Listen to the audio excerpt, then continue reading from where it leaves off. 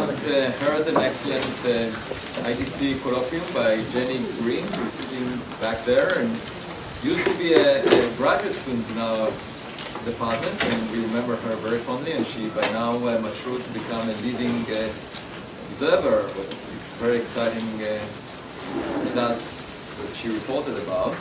And she will talk also at this lunch uh, about something else. Um, we'll start with uh, Sownak Bose, uh, our own, uh, who will talk about how the present-day distribution of dwarf galaxies encodes the physics of reionization. And he spells reionization with an S rather than a Z because he is from Britain. Because I was taught correctly, that's why. Right. Uh, and uh, then we hear from Jenny, and she will talk about the recently quenched massive galaxies at redshift 0.7 with lots of molecular gas. Uh, and after that, we'll hear from Adam Frank, who is the CFA colloquium speaker. I'm not sure if he, arrived as of yet, but He's, he's in an Uber right now. Uber. How far is the Uber? Somewhere between Logan and, and here. so he will definitely make it, uh, but by the time we get to him. And hopefully he will talk about 3D AMR simulations of common envelope evolution. What about accretion? And finally, we'll hear from our own uh, Peter Williams, who will talk about Jovian magnetospheres beyond the solar system. Right, so what I wanted to talk about today was a project that I just very recently completed with uh, Alis Deason and Carlos Frenk in Durham. Um, and when it comes to you know connecting dwarf galaxies and reionization, it would really pain me to start anywhere else uh, apart from uh, oh god, it's stuck. Okay, apart from here, uh, which is the so-called missing satellites problem, which we heard about uh, in the colloquium just earlier. So the missing satellites problem, which was posed at the sort of turn of the 20th century, 1999, um, uh, can be sort of summarized in these two pictures, where on the left you see the uh, number of satellites that have been observed around the Milky Way by Sloan and the Dark Energy Survey. Um, around 54 satellites have been found. And on the right is a projection of the prediction from cold dark matter for the abundance of dark matter subhalos around the Milky Way like host, where you see hundreds and thousands of these potential hosts for uh, small galaxies, which vastly outnumber the number of actual observed satellites. And this has been ascribed as a you know, problem for the cold dark matter model. And the question is if CDM is the right theory, why do most subhalos remain dark? And the answer to this has actually been known for quite a while now. And it's simply that, you know, for the small galaxies or the small halos, when you actually compare apples with apples and you actually include the in- incorporated effects of supernova feedback, which blows out gas and inhibits star formation, and the effect of reionization, which heats up gas to above the virial temperature, preventing the gas from cooling into small halos, you actually suppress the formation of low mass galaxies. And in fact, this is something, for example, you see an image here from the Apostle simulations of the local group, the vast difference between the number of observed galaxies uh, versus the actual dark matter abundance. And this is something that's been known for quite a while, um, you know, dating back to the late 80s and early 90s. Um, so, so in some ways, the missing satellites is a curious problem because it's something to which the solution has actually been known longer than the problem itself has been around. But when it comes to reionization, there are a few key questions that one could ask, you know, such as when does reionization take place? And uh, you know, with the link to dwarf galaxies, what are the halos that are actually affected by it? You know, where the heating of gas will actually prevent the cooling of gas in these halos. And there are some associated questions associated with those. What I like about these questions is that they not only are intimately related to the details of galaxy formation, but at some level also to the nature of dark matter. Um, but for the purpose of this talk, I will only focus on cold dark matter, and specifically the first two questions. And what I'll try to uh, sort of demonstrate is that perhaps clues to these two questions uh, can actually be seen or be read off from the distribution of dwarf galaxies at the present day, specifically by looking at the shape of their luminosity function rather than the cumulative number counts of satellites, which is what's more commonly done. So to answer this, uh, I make use of a large uh, cosmological dark matter only simulation called the Copernicus Complexio simulations. Um, and so there's more than 13 billion particles in here with a pretty good uh, mass resolution of around 10 to the 5 solar masses. And from that, you can extract you know, samples of Milky Way like and LMC like hosts, as determined by their halo mass. And to learn something about galaxy formation, basically, we use a semi analytic model of galaxy formation called GalForm, which has been developed in Durham for the past three decades or so. And essentially, what GalForm does is it takes these merger trees and then you know, incorporates some models for the gas and dust and has differential equations that you know, determine the cooling of gas, star formation, feedback, and so on. And you essentially get a series of numbers which reflect the galaxy properties associated with the galaxy formation model and that particular merger tree. And there's always a question of the free parameters of these models, and essentially we calibrate them to reproduce some small set of present day observable properties of the field galaxies. So, since reionization is the focus of uh, what I want to talk about, let me tell you how we actually model it.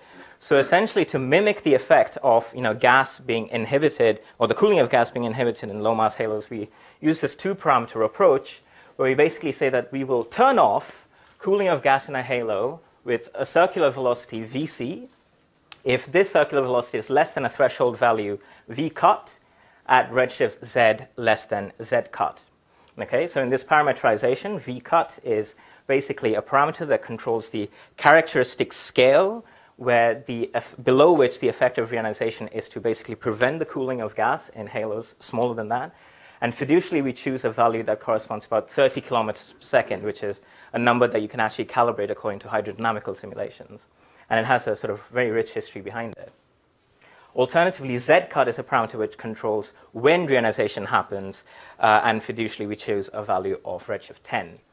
And while it may appear as a you know, rather oversimplified approach at first with just two parameters, it actually turns out to be a very good approximation to a much more detailed and self-consistent calculation of the whole reionization process, as many semianalytical uh, groups have uh, you know, done in the past, uh, as listed there. So what I will show now is essentially a cartoon summary of the various numerical experiments that we conducted in actually varying these values of z-cut and v-cut, or essentially these two questions pertaining to reionization, and how the luminosity function of satellites of the Milky Way actually responds to changes in these parameters. So what I'm showing here on the x-axis is the uh, v-band magnitude of satellites of the Milky Way and the number of satellites in a given, of a given magnitude on the y-axis. So the gray curve is our fiducial model, and the blue and orange curves are basically responses to changes in z-cut or when reionization happens. And what we'll see is characteristic about all these curves is that it's not just a simple power law, but actually there are two bumps in here, right, which are segregated by some characteristic valley, which I'll explain to you in a second. But essentially the behaviors that we find is that if you change the redshift of reionization, pretty much nothing happens to the bright galaxies above some particular scale determined by the location of this valley. But the abundance of satellites at the very faint end are very sensitively dependent on exactly when reionization is happening. So if you delay reionization, you get the blue curve, and essentially you have much longer for halos to continue building stars before you know, their cooling is turned off. So you build up that end. And alternatively, if reionization happens very early on, then you don't have enough time, and essentially the faint end gets suppressed by quite a lot. And to understand why this behavior actually happens, you can basically just think about how hierarchical structure formation proceeds. Where what I'm showing now is the stellar mass of satellites at present day um, and the fraction of that mass that was accumulated prior to redshift 6, or whatever redshift you choose. And essentially, you find that for the brightest satellites, above, say, 10 to the 6, pretty much none of the mass has been accumulated at the very early times. But the faint satellites have accumulated the vast majority of their mass by this time, which is why it's only the faint end that responds and not the bright end. So what actually determines this transition between the faint and the bright or the pre and post reionization populations? And that actually turns out to be the effect of V-cut or the characteristic overdensities affected by reionization. And so again, the gray curve shows the fiducial 30 kilometers per second value. And if you increase that to, say, 50 kilometers per second, you see that this valley recedes to much larger values, meaning that now you actually suppress cooling in much larger halos, preventing the formation of bright satellites. And you immediately know that cannot be made too large because, for example, for the Milky Way, we know how many bright satellites there are, brighter than, say, minus 8.8 or so. And conversely, if the circular velocity is pushed much lower than 30 kilometers per second, now you allow much smaller halos to continue forming stars when reionization kicks in, and essentially this valley shifts to much fainter magnitudes. So the picture that we come up with is essentially there's this bimodality in the luminosity function of satellites, and essentially this transition between a pre and post reionization population can be read off uh, by essentially looking at where this dip or this valley occurs, and the redshift of reionization actually controls the abundance of satellites fainter for the pre reionization population. So the question we asked is okay, this is all well and good theoretically, but is there any evidence of this in the actual data? So what we sought to do was to essentially look at the luminosity function of satellites for the Milky Way, uh, which uh, Oliver Newton, who was a graduate student at Durham, basically used a sort of Bayesian inference technique to estimate what the total population brighter than uh, v-band magnitude of zero should be. And we combined that with uh, satellites from PAndAS uh, for, for Andromeda, and essentially combined them by you know, doing various ratios for the masses between the two halos, um, assuming some radial profile, extrapolating it, and so on and so forth. And we basically asked the question, does the data actually show any evidence of bimodality as our models should predict reionization should actually bring about? And specifically, is there any evidence that a bimodal distribution is more preferred to, say, just a simple power law-like distribution? And to cut a long story short, essentially what we uh, found is that for pretty much all choices of the mass of the Milky Way and the ratio of the mass of M31 to the Milky Way, um, we basically found that the data, which is shown in the uh, black um, error bar, uh, black points, uh, always seems to prefer a double population over a single power law, um, as determined by a sort of information criterion test that we did, uh, which actually penalizes, for, penalizes you for having more parameters and so on. Uh, so there is some tentative evidence of two populations, just a minute more, um, in, the, in the actual data that exists at the moment, but perhaps more data is actually needed to confirm or exclude this definitively. There we go. So probability title. Um, and, and so in the, in the paper, we actually then found that the actual predictions of Galform do very well in actually, uh, you know, predicting the right shape and abundance of satellites as the data predicts, uh, as data shows, and we find a preference for halo masses of less than 2 times 10 to the 12. We also looked at the population of satellites for LMC-like systems for our best uh, galaxy formation model, and best guess for the halo mass, and we found some certain number of satellites, which is interesting. Um, if you want to read further, it's, it's uh, quite an exhilarating read. It's up, it's up there. Uh, but anyway, these are the conclusions. So reionization is, uh, is, is, an interesting topic. Uh, dwarf galaxies are particularly sensitive to it, and uh, I've tried to show that maybe the shape of these luminosity functions can actually tell you quite a lot about reionization and specifically that there seems to be some evidence that there is a pre and post reionization population of satellites predicted by theory, which can actually be seen in the data. And future surveys will hopefully help us understand this stuff better. Thank you very much.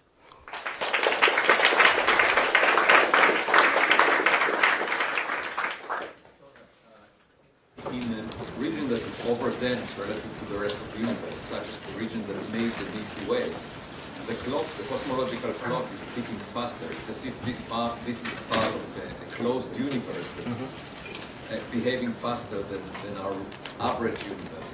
And so um, when you infer the redshift of reionization, do you need to take account of the fact that you're looking at dwarf galaxies in an over-dense region in the sense that the redshift that you will infer for reionization was earlier. So this region was ionized before the rest of the universe. Right. So, so what's, what's quite interesting, I find, about this whole uh, V-cut, Z-cut stuff that I was talking about, was there was a, a paper by um, uh, Andrea Font in 2011 who actually used the Galform model to find if you actually were to account for local ionizing sources, right, where you account for the fact that you know, some places have more clustered ionizing sources than other places, than voids, for example, the luminosity function you actually infer out of that is still matched very well by this V-cut, Z-cut approach. And, um, and so, so that, that's one, one thing. The other question you could ask is about this time, this time window for reionization, because here, the way we model it kind of just says that it, reionization doesn't happen and it happens kind of thing. Um, where, where in, whereas in fact, there is actually some spread in this relation. But I didn't, I didn't actually get the time to show this, but actually what our, our results show is that um, you can change the redshift of reionization by, you know, maybe a delta z of 6 or something. But what that actually translates to in terms of what you know, stellar mass does a v cut of 30 kilometers per second correspond to doesn't actually change that much because it's not actually that much cosmic time. Uh, and so these, these different sort of uh, you know, uncertainties are actually not too sensitive to actually changing the uh, qualitative predictions that these models make. Questions? It Looks like everything was clear. You explained things very well. It's either, if there are no questions, it's either a compliment or an insult, but in this case, I think it's Well, I will. I was just wondering about the statistical significance of your distinguishing Mhm. between a double hump, which has more free parameters Yeah. than a power law, whether there was anything there uh, that made, the- made it statistically more significant that you fit the power law. Yeah, so, so, so, the, so the test that we did was this uh, Akaike information criterion test, which basically, um, you know, not only finds you the model which, uh, you know, gives you the best sort of fit in a chi-squared sense, but it will penalize you if you have more free parameters, essentially. Um, so this, so how we sort of mimicked these two populations in the distribution was essentially to say, okay, let's mimic two populations with the sum of two Gaussians, right? So there's, I don't know, something like six parameters there relative to a law, which has two. So you'll, you'll, you may have noticed that in this figure that I showed, okay, it's gone. Okay, anyway. Oh, there we go. Yeah. So in, in, in this figure, there were two versions of this double Gaussian that I showed. Um, the first one, which is the pink, um, is uh, or magenta, whatever it is, is uh, is basically one where there are six free parameters in it. So you can see that, you know, for example, in this AIC test, the value with the lowest AIC is basically the, the preferred model, right?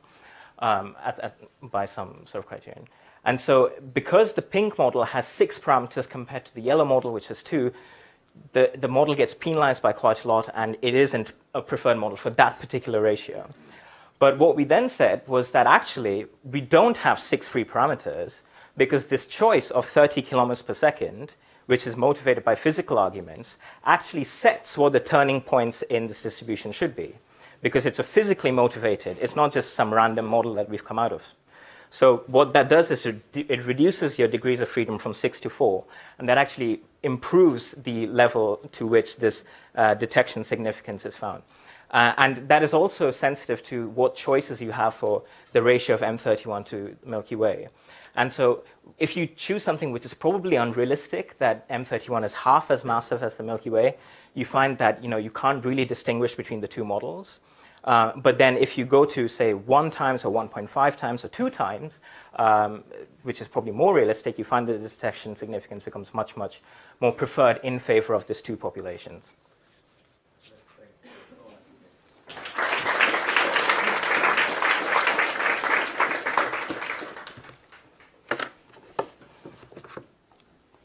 Hello again. Oops, sorry. So I wanted to talk about.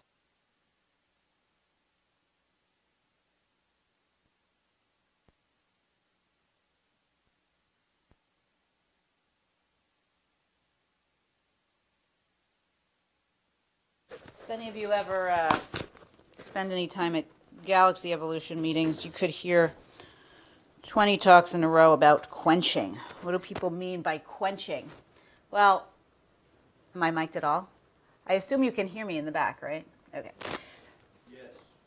Hubble, Hubble figured out that locally there are two kinds of galaxies: the red ones that are uh, supported by random motions, and the blue ones that are gassy forming stars and are uh, predominantly supported by rotation. And we've spent the last hundred years trying to figure out what is the process that makes massive ellipticals form, what keeps them from forming stars because they really are predominantly old and red today. So, this is a project that's trying to understand that process as it's happening. And the way we've attempted to do this, this is a, a collaboration with Mariska Kriek at Berkeley and Rachel Bezanson at UPitt. And what we've done is we've selected very massive galaxies where we think most of their stars were put in place recently. So these are post starburst galaxies.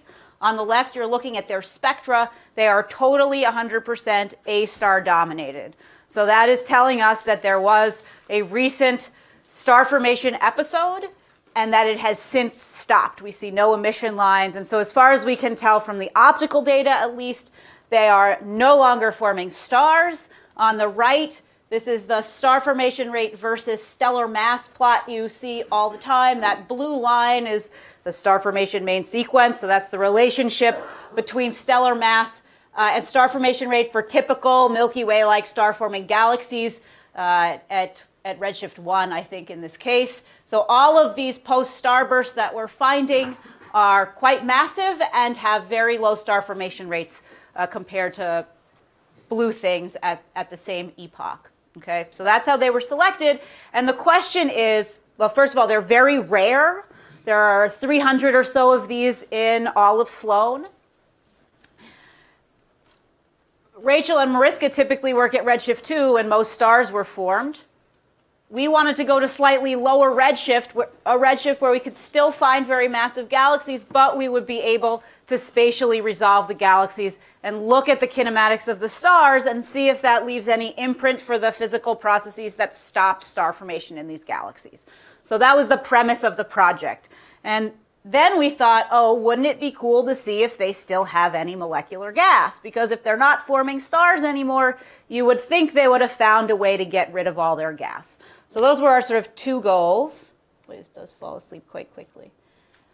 And we actually were much more successful at interestingly, at getting ALMA time than we were at getting Gemini time. So our first published paper shows that for the first two galaxies that we looked at with ALMA, they actually have remarkably high gas fractions, uh, similar gas fractions to star forming galaxies. 30% uh, of their baryonic mass appears to be in this in molecular gas. And so somehow we need to shut off the star formation in these galaxies, but still maintain a large pool of molecular gas. So that was our first kind of fun result. And we have, the reason I'm talking about this today is that we have ALMA data now coming in 22 hours, I think, uh, 10-ish objects, more objects in our sample uh, to look at the distribution of, of gas in these galaxies. In the meantime, we are also getting information on the stellar kinematics. This is our sort of poster child guide. This is our first IFU, stellar IFU cube here on the left. This is Qiana Hunt. This is her work. Uh, she's on her way to graduate school either at Yale or Michigan. She hasn't decided yet. But we see a nice clear rotation curve in the stars, which seems to align pretty well with what we see uh, in the CO2 to 1 velocities uh, in the gas. This is the beam of the ALMA data, so we're, we're not really very well resolving it, but this seems to suggest that, for instance, this molecular gas is not in a massive outflow. It seems that the gas and stars are rotating uh, in a similar orientation, uh, and so we think this is a relatively rotation-dominated massive galaxy. So that's just one more piece of information in terms of exactly the path to quenching that these galaxies took. And then the really kind of super cool thing that uh, Justin Spilker, who's been doing our gas analysis, sent around the other day. So this is the third object in our sample that we have a detection for. And the galaxy itself is in the center of the cube. And then we see this very kinematically cold, very luminous CO2 to 1 clump at 25 kiloparsecs from the primary galaxy. And this is the spectrum for this guy. So again, A star dominated, but you can see these two little blips here. That's the oxygen 35007 pair of lines. And if you stare at a lot of Sloan spectra, you can see that these are quite broad. So this is most likely uh, an AGN powering those emission lines. And so maybe in this source we are seeing an outflow. We don't know. Uh, but the, the plot thickens because the next three galaxies that Justin reduced, I got this in an email last night, are non-detections. So now we have three quite gas-rich guys and three non-detections. Uh, so it'll be, it'll be fun to, to pursue. In the meantime, we're getting, with our Hyper Suprime camera data, we're getting high resolution imaging for some of these. Uh, this is work done by Khalil Hal Hooper, who's a student with me at Princeton. And you can see lots of really cool uh, morphologies here. So it, it does look like merging is going to be a significant part of the story. We see uh, evidence for disturbance in nearly all the galaxies that Khalil has looked at so far. Um, so that's, that's the story. The, the big question is how do you shut off star formation in these galaxies and keep them gas rich?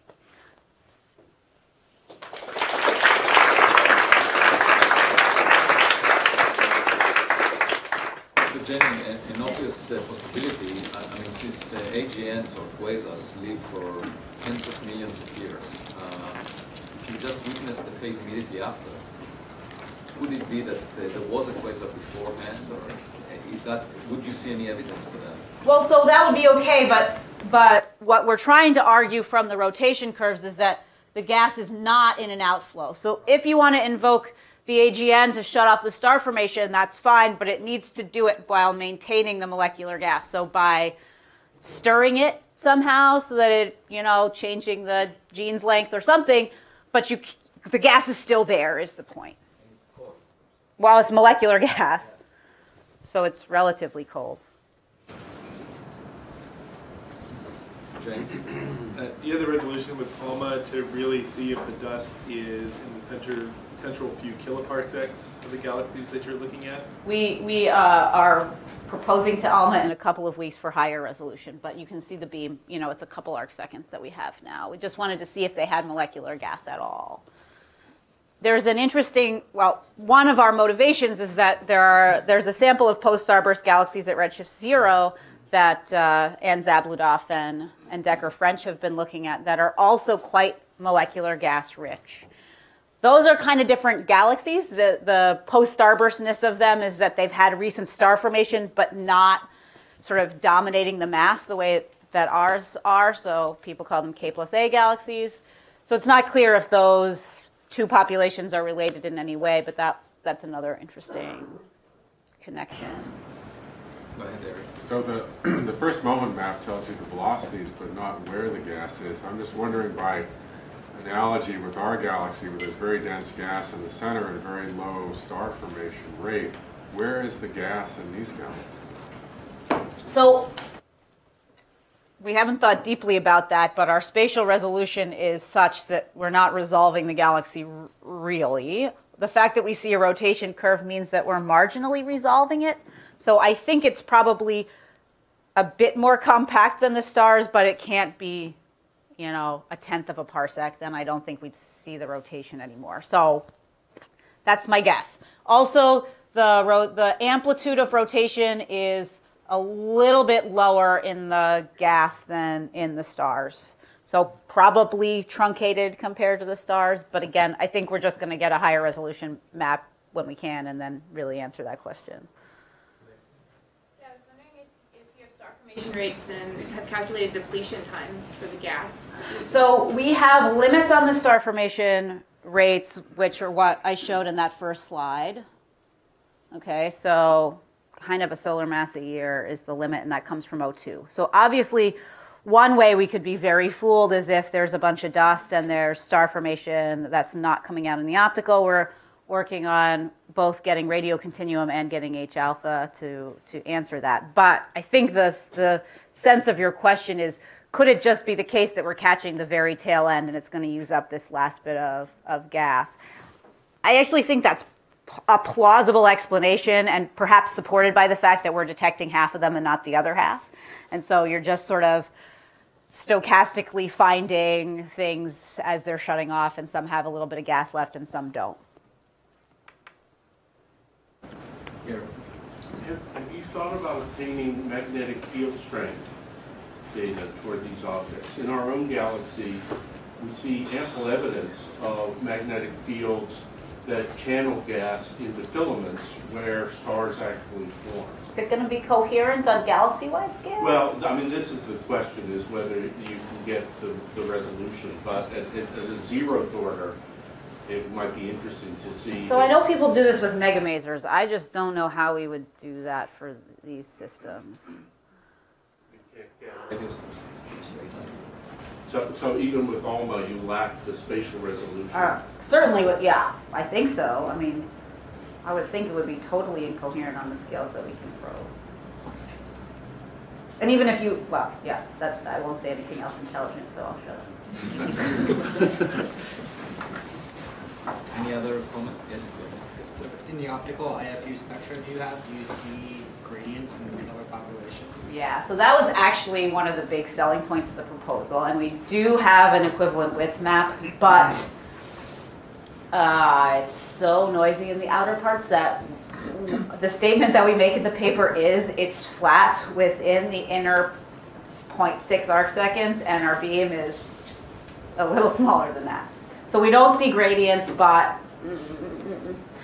we're getting right into where sky subtraction gets super scary, so we don't have a strong constraint on that. Jenny, did anyone look in numerical simulation sets, just, you know, freeze them and see if there are galaxies just like that, and what, the, what is the reason?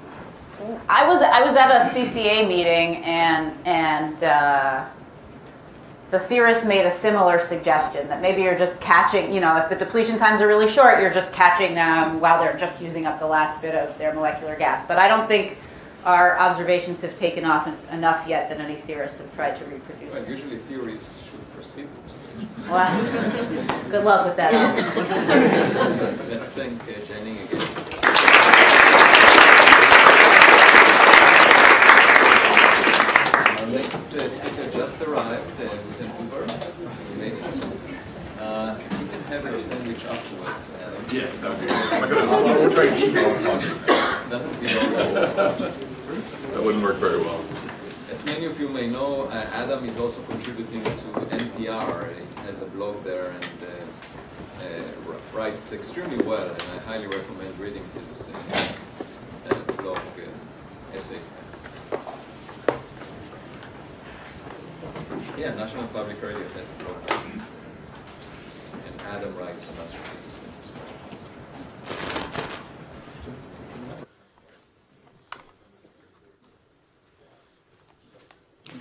Okay, let me just make sure this is all working. Uh,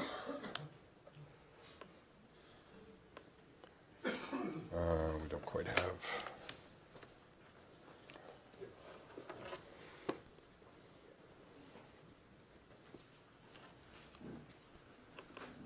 There we go. Okay, well, thank you very much for giving me the opportunity to talk to you today. Uh, obviously, later on, I'm going to be uh, talking to you about aliens, so it's nice to actually, you know, have a, something a little more grounded here. Um, so, what I'm going to tell you about is accretion in common envelope evolution. So, my group at the University of Rochester, we both um, develop and apply advanced numerical methods, particularly adaptive mesh refinement MHD codes. So, um, we have a code that we've built called AstroBear that we've been, you know, developing for the last 15 years or so. Um, so this problem of common envelope evolution, you know, we're coming to it actually from the problem of planetary nebula, which has been a long-standing interest of mine. Um, and you know, planetary nebula are beautiful. They're they're you know interesting in that way. But I also want to point out, you know, some people may think like, well, these are not the cutting edge of astrophysics, but they have always served as laboratories for interesting things in astronomy. So, you know, forbidden lines, you can go all the way back, and that was the first place really where people were coming to understand forbidden lines. Nebular shaping, a lot of what we know about how um, gas interacting, or nebula, uh, this is particularly true for young stellar objects, of, you know, jets and flows interacting with circumstellar material, came originally from uh, planetary nebula. And we've always known, or we've always thought, you know, uh, Mario Livio and Noam Soker going way back, have always said that the bipolar shapes that we often see in planetary nebula are likely due to binary interaction. And in particular, they're likely due, at least some set of them, for common envelope evolution.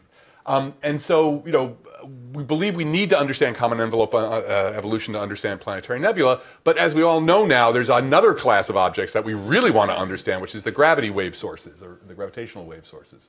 Um, so, you know, this remarkable discovery over the last few years of both binary uh, merging black holes and binary merging uh, neutron stars, those systems, you know, there may be other ways to do it, but most, if not all, have gone through a common envelope evolutionary uh, uh, process. So um, this is a really remarkable piece of astrophysics, which has gotten very little attention because it just is so hard to do. So I, I like to call it the grand challenge, the un, untapped grand challenge problem. So people have done, you know, the grand challenge of supernova remnants and the grand challenge of star formation, but common envelope has been sitting there as a problem we really don't understand very well. And it's only recently now, in the last few years, that you're really seeing numerics be able to uh, uh, attack it. So, what is common envelope? Um, it's basically when you have two stars uh, merge to the point where the smaller star is inside the envelope of the larger one. So, usually it's a giant star that overflows its Roche lobe. Um, the com- companion can't accrete fast enough, so it overflows its Roche lobe, and basically you end up with a common envelope. Then drag forces inside the envelope are strong enough to, to um, lead to very, very rapid orbital decay on the order of you know a couple months or so. You should be able to drag the secondary all the way down to um, size scales that are comparable to the things that are going to lead to gravitational wave mergers. Um, at least that's the idea.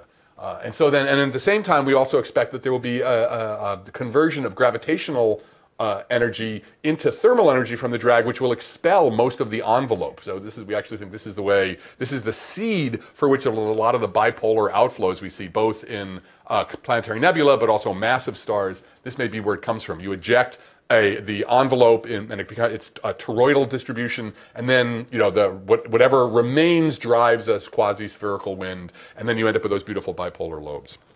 Um, so you know it's, it is a process uh, that we think is very important for understanding you know this new frontier in uh, uh, astrophysics. Um, but modeling it is extremely difficult, has proven to be really, uh, has thwarted most numericists for a long time. There was only, if you go back to like before 2008, there is really literally a handful of simulations going all the way back to um, when it was first proposed in 1976. And part of the problem is you need to take a giant star and put it on your numerical grid um, and then move it around and actually shake it because you're going to have a secondary dive into it. Um, and just getting a, you know, much like the difficulty in numerical relativity was just trying to get a black hole to move across the grid without the whole thing turning into spaghetti. Um, trying to get this big extended envelope uh, with a little nugget of, of uh, you know, the core inside on the grid and behaving correctly. Not, you know, you turn, you put it on there, you turn it on, and the whole thing just blows up, or it just collapses on itself. Trying to figure out how to get past that problem is really what took a, a long time. And you can see this actually, so this is a MESA profile for an AGB star. Uh, actually, I think it's an RGB star. And if you look at the pressure scale heights, what you'll see there's two places where the pressure scale height becomes very small. Um, here is near the uh, transition to the, uh, the core, and then here also on the, at the envelope, or at the, the boundary between the star and the ambient medium. And so that means that you need very, very high numerical resolution to be able to capture the physics going on there, and if you don't, you'll just get things completely wrong. So it's figuring out ways of doing this um, that took so so long. Um, I won't really go if we, uh, later on if somebody's interested, just to try and keep this under 10 minutes. Um, I can tell you what we did in order to get this to work. Um, but uh, let me go on to the simulation. So this is we're now took us a year to actually get it to work, but now with our AMR MHD code, we can get this working, and this is the result. So this is a um, one solar mass uh, AGB or red giant star, excuse me, with a 0.5 solar mass companion and you can see it dives in, uh, the, um, uh, the orbit reduces considerably, and then you end up with this fairly stable, stably orbiting pair uh, driving um, spiral waves, driving, continually driving waves into the ambient medium. And you can also see, let's watch this again. So here you see the orbital, orbit initially decaying, material's been ejected outward, um, and then as they draw closer together, you, you, know, we're using, you can see actually the effects of the AMR in this, right? You can see where you're de-refining and refining. Obviously, we're putting all, the interest is down by the base there, so all the resolution is here, uh, and that's where you'll see some, sometimes you'll see these beautiful uh, Kelvin Helmholtz rolls forming. But out here, you can see that the resolution is much lower. So, you know, this is something we, we need to think about how, very carefully, how the resolution plays into what we're seeing. Um, in particular, okay, so that's what it looks like. So That's really very exciting to be able to do that, right? That's a year's worth of work of tuning the code to be able to do that. Um, but the interesting thing is uh, the results that you get. So here is a plot of, uh, these are for two models. What you want to look at, this is radius versus time, or orbital separation versus time. Um, and what you see is after about 10 days, you start at a, a 50 solar radii and you come down to about 10 solar radii. That's the big decay of the orbit, the rapid decay of the orbit, and then you end up in these things that's slowly settling into, uh, you know, uh, um, an elliptical orbit. Um, and these, there's two models here. The solid blue line is, because this is what I'm going to be talking about. The solid blue line is a model that does not have accretion. Basically, material, I'm, I'm, I'm particularly, we're focused on the secondary, because that's what we're interested in. Does the secondary accrete material as it's passing through, perhaps form an accretion disk, and then blow a jet, right?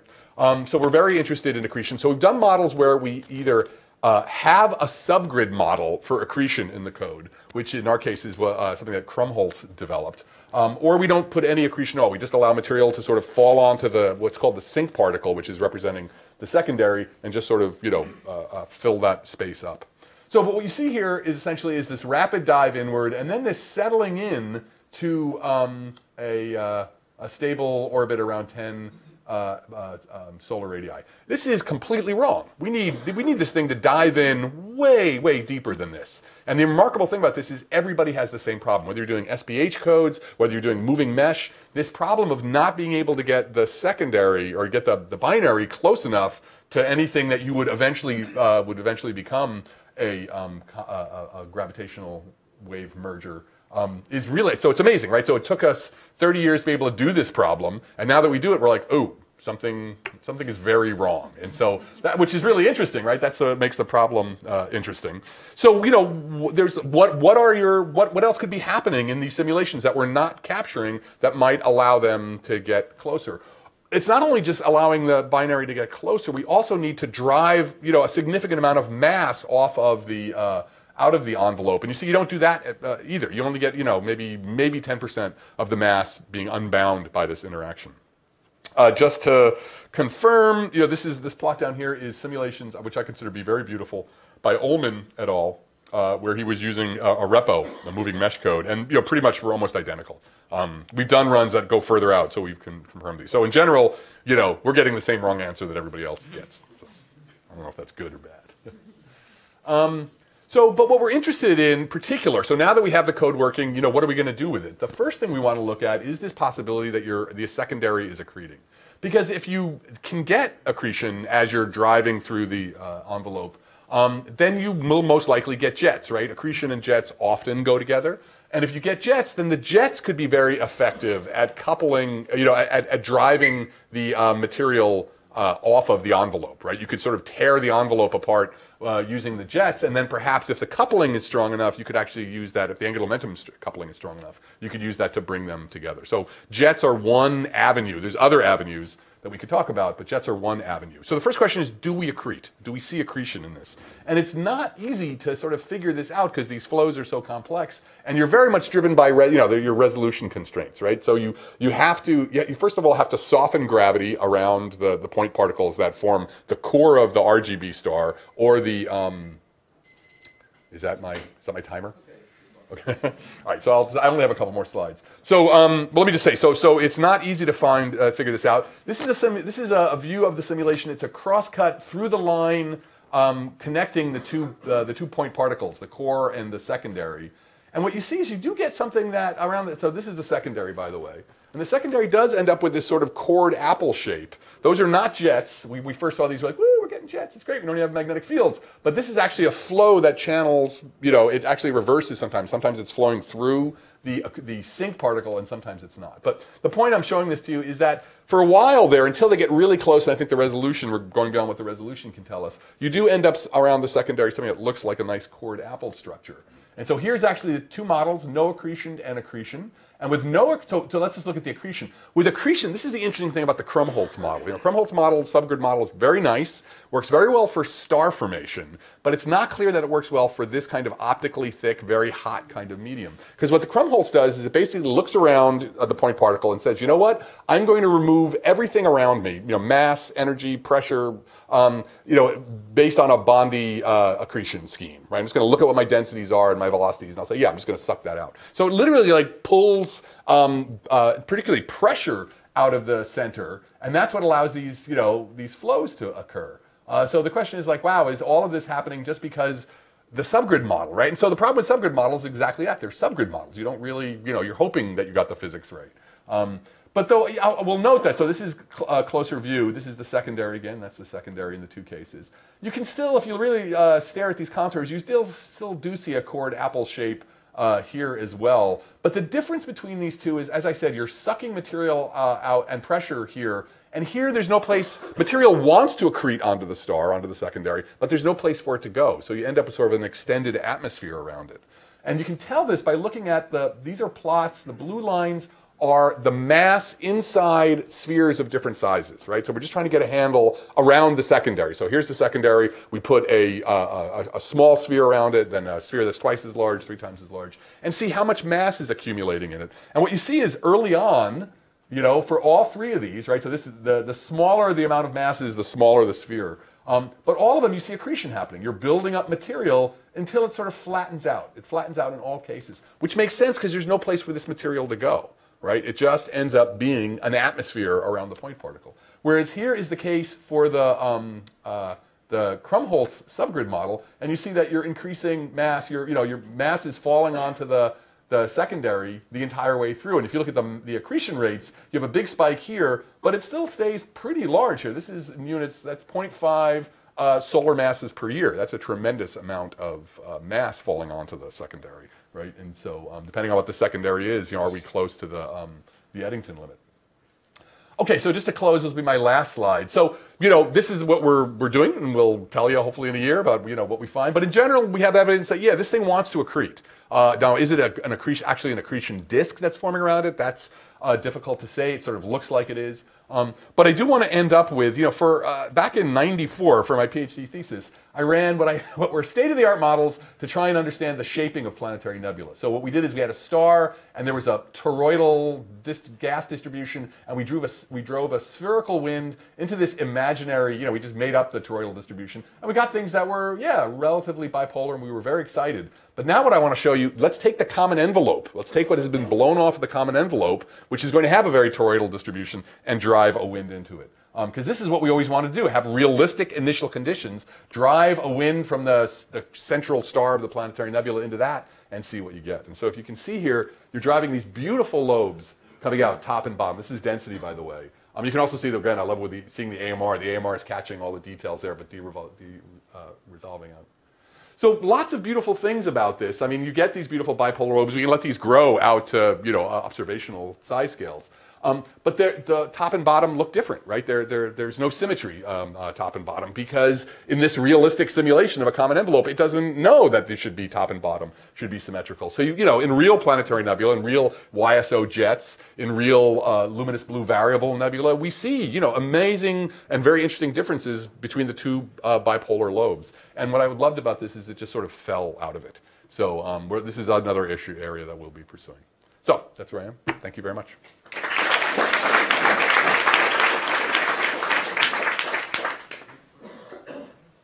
Time for one or two questions. In planetary nebulae, the uh, gas is ionized enough that the magnetic, the external magnetic field becomes frozen in, in the gas.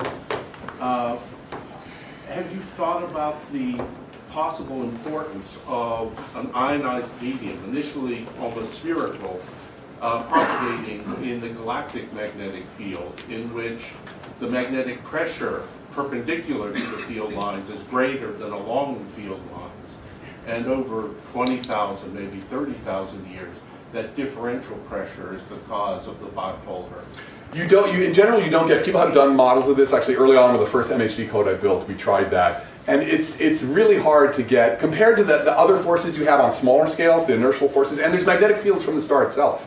So those in general are going to overwhelm what you can do with the uh, ambient galactic magnetic field. You know, at best, with the ambient magnetic field, you get something that's slightly distorted, but trying to get like wasp-waisted things or things is just very difficult to do. You need like magnetic fields that just don't make sense in terms of their strength.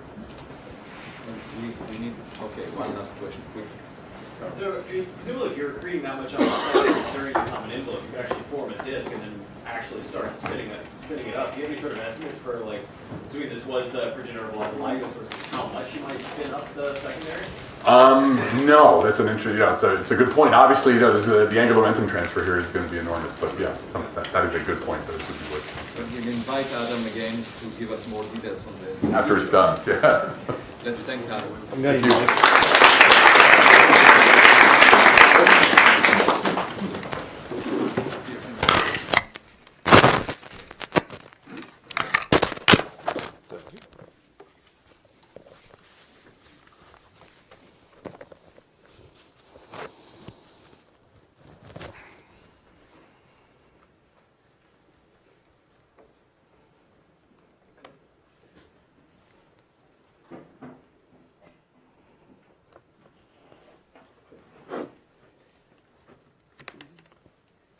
Uh-oh. There we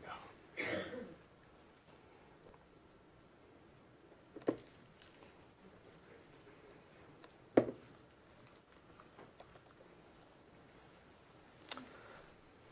All right, uh, thank you. I'd like to tell you about some work that I've been doing over the past uh, like year and a half at this point, um, looking into uh, zooming in even more the magnetic fields of uh, planets around other stars eventually.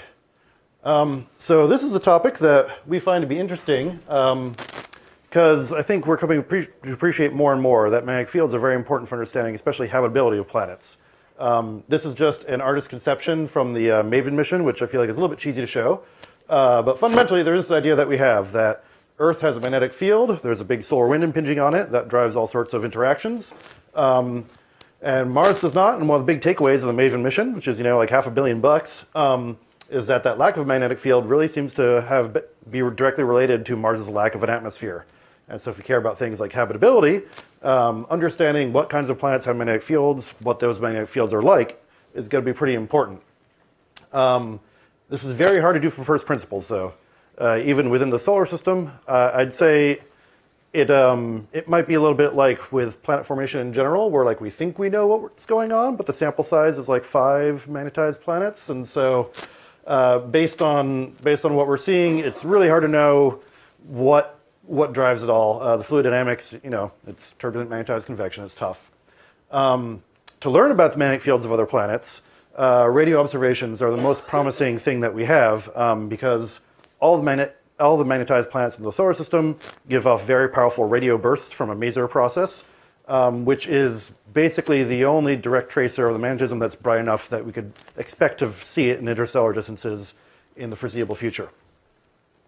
Um, so we haven't detected any gen- genuine planets yet, uh, but the ultra cool dwarfs are in many ways what we've learned over the past, say, decade or so, uh, is that they really just seem to be scaled up planets. I mean, brown dwarfs, you know, they're, they're more massive, their radii are about the similar, but it really seems more accurate to think of them as really big Jupiters rather than really small stars.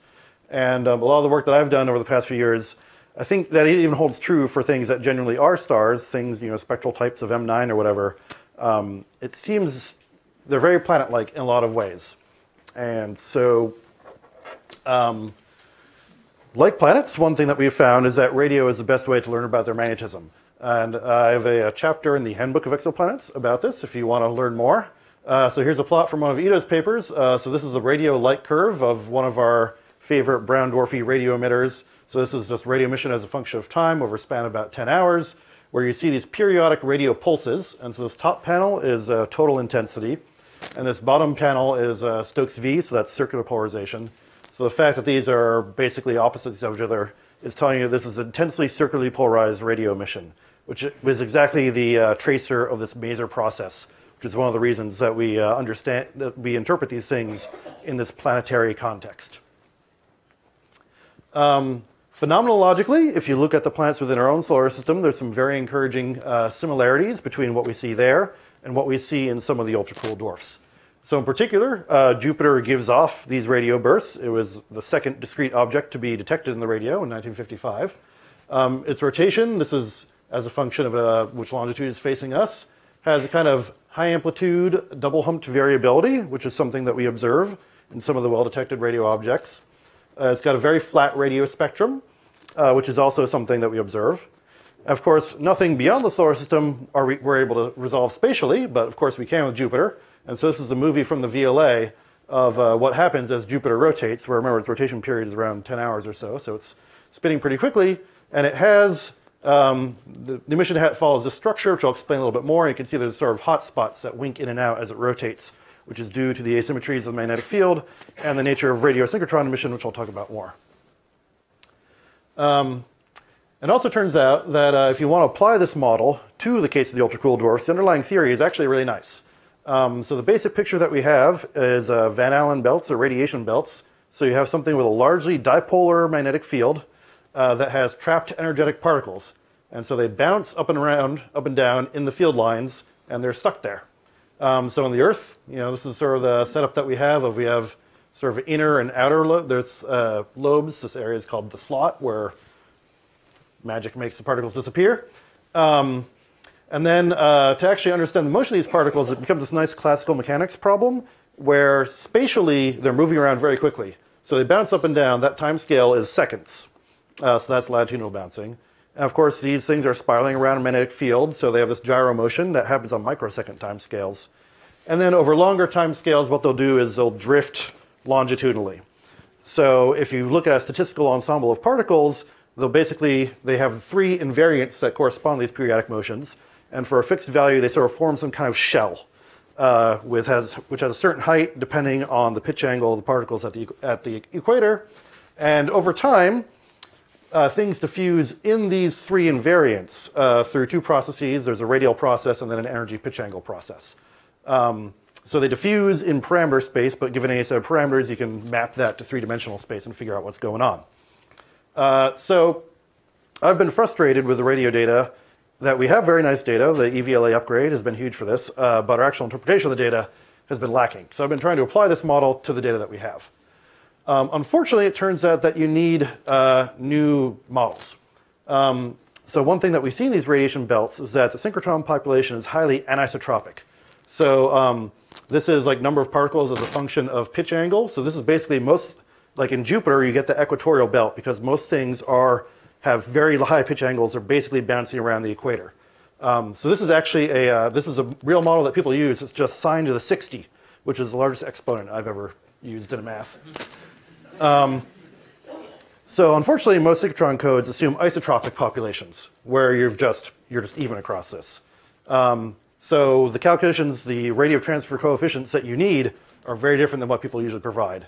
So in generally, if you're doing this in full polarization, we, when we have lots of circular polarization, so we want to do that, you've got your four Stokes parameters. It's you know it's a simple equation, uh, but there's a lot of coefficients. It's true that um, you can transform it. Uh, you set the linear polarization basis, and there's symmetry here. So there's basically eight magic numbers that you need to calculate, uh, given some set of you know particle, how many particles have what pitch angles, what energies.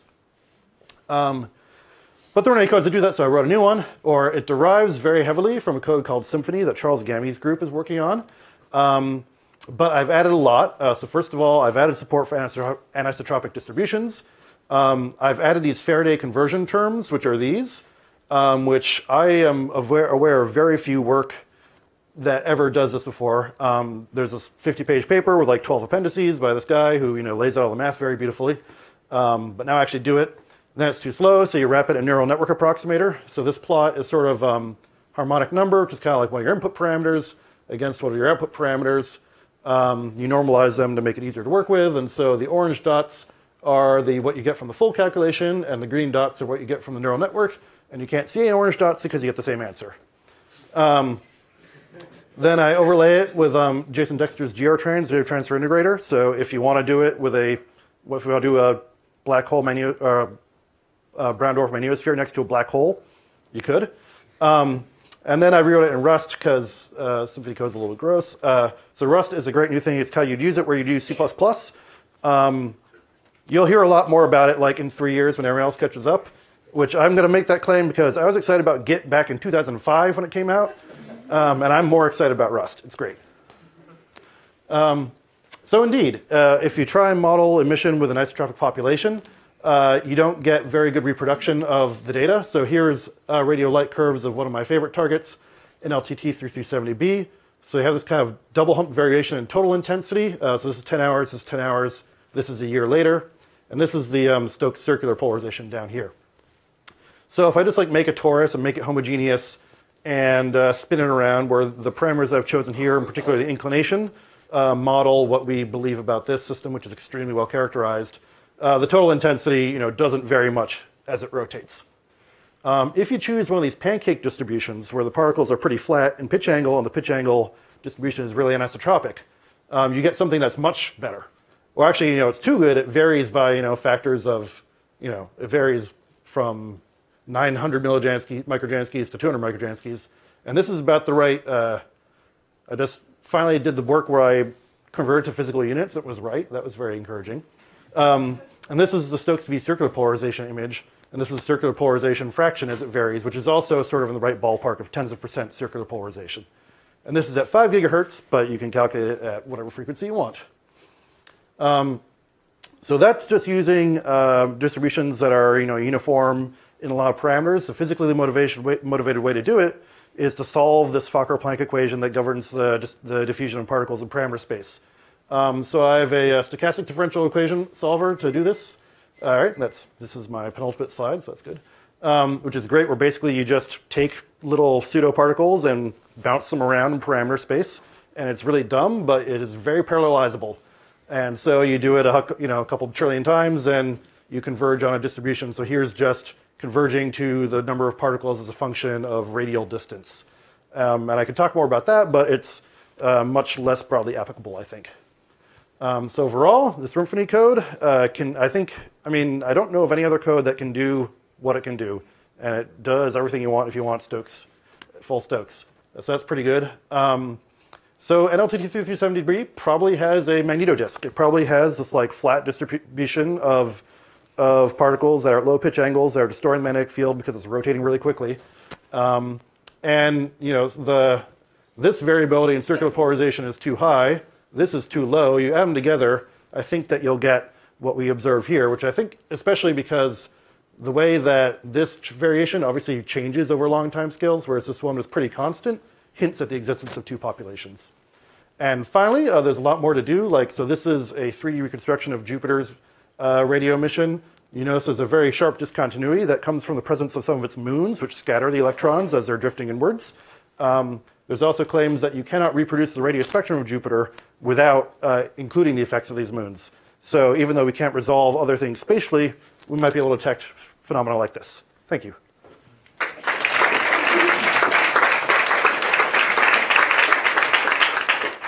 Peter, that could be in principle a method of detecting moons. Uh, right, or uh, technically, technically, around the things we can detect, they're, they're planets. I always want to call them brown dwarf moons, but you know, the brown dwarf is the primary, so they'd be little brown dwarf planets. And one other thing that there was recently the Juno mission that went. Uh, did that uh, give us much more insight as to the physics behind it? Oh, absolutely. Um, or it is, insight is happening. Uh, you know, uh, it, it's still collecting enormous amounts of data. There's all sorts of magnetometers and things. Lots of people are staying a long time. It, so we are learning more about the Jovian dynamo and then just the, the practical characterization of the detailed structure of its magnetic field and the energetic particle populations. Thanks. Peter, do you have a sense of how rapidly rotating um, of exoplanet uh, or brown dwarf or whatever would need to be in order to for these anisotropic effects to become important? Um, I, I believe not very rapidly. I mean, some of the one of the popular theories of the underlying dynamo is that it's actually uh, uh, agnostic as to rotation rate. So the, you don't, in terms of the magnetic field strength, you might be able to get fields that are just as important. And then, you know, what's really setting what's really setting that anisotropy um, is how the particles are diffusing in in the magnetosphere, which is due to the interactions of you know those the pitch angle energy coefficients that you get from the particles interacting with the waves in the field with the magnetic field waves. So that's really not. I don't think that's bound to the rotation period at all. So it's more important for the light curve rather than just the radio power, because right? the radio power scales with the rotation of the planet and the mass of the planet, those sort of quantities, uh, at least in the solar system. Yeah, I mean, like your, you know, for the solar system, it's all convolved with the fact that things are being impinged upon by the solar wind, and there's a correlation there, and and the radio output definitely goes up and down with the solar wind. Um, these are clearly, you know, these are free floating, and yet they still have radio emission, so that is not necessary. But anyway, so um, I don't think the radio power is necessarily gonna go up and down with the rotation period in any well-defined way for things that are free floating We reached uh, our time limit. Let's thank uh, Peter and the